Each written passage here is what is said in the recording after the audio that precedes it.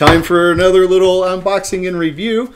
This time we're going to be looking at this, uh, I don't even know how to pronounce that, Otacle, an Otacle 2, a multi-function pry bar. Kind of been interested in pry bars, but hasn't really been something that uh, I've been too anxious to buy since I don't know that I have a lot of use for one. But hey, had a $20 coupon that I decided to use and uh, get this guy. So it comes with a lanyard. As you can see, that's about all that's in the box.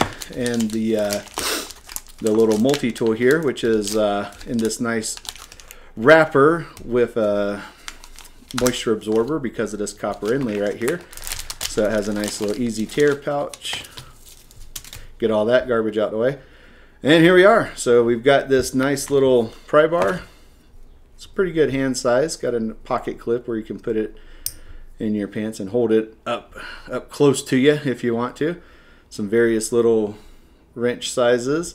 Looks like maybe your standard bit size right back here in case you want to use uh, like your multi-tool bits whatnot to get something done. Ah, nice. It's got a nice little in, inlaid uh, measuring device here. That's pretty cool. So you can get up to a couple of inches at least. Can opener because you can't go anywhere without a can opener what would life be without a can opener everywhere you go? And a nice little pry bar and uh, maybe a flat blade screwdriver. Hey, it looks pretty cool. It's nice and lightweight. Not too bad.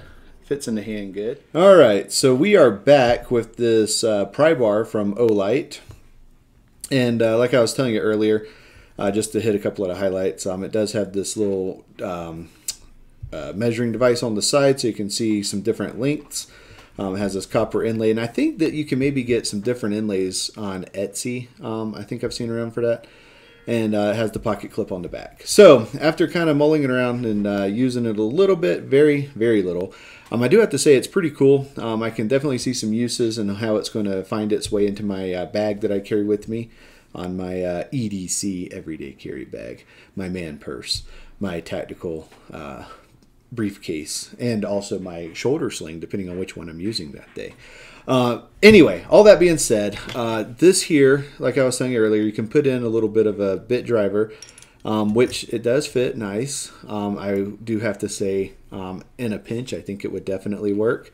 I don't know that I'd want to do a whole lot of that, but I guess that it's not really meant to be the uh, the screwdriver. Um, if you're going to be needing something like that, I highly recommend one of these here, guys. This is from a CRKT, um, and it's a pretty neat little setup. And I also carry a Leatherman with me, so I wanted to see if their flat bits would fit. And uh, sure enough, they do. They're a little awkward, but again, in a pinch, if all you had was some Leatherman bits, uh, you could still get by and get what you needed to uh, to accomplish done. Um, anyway, so hope this help is helpful to you. Um, it's pretty neat little little deal. And if you have any questions, uh, feel free to put a comment in there. And don't forget to smash that like button and hit subscribe. Thank you.